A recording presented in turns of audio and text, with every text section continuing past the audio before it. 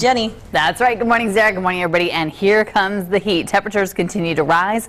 We're going to see temperatures well into the 90s today and more warming tomorrow. Let's take a look at our live pinpoint Doppler, show you what's going on. Just a couple clouds over the mountains, mainly clear skies, but as that snow melts, it's turning into clouds, and there's that chance of light showers in the afternoon for the mountains. Otherwise, clear skies for the valley, and right now we're at 60 still in Fresno and Los Banos, but 49 in Madera, low 50s in Hanford and Lemoore, mid 50s in Tulare, so wide wide range of temperatures, all staying pretty mild though. And compared to this time yesterday, we're generally up a couple degrees and that warming trend will continue. That means low to mid 60s by 8 o'clock, low 70s by 10, a warm lunch hour in the low 80s and 93 for your high today. We'll have more on the continued warm up in a couple of minutes.